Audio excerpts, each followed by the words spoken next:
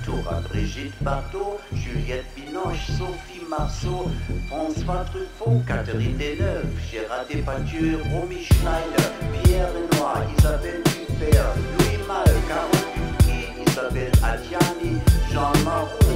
Claude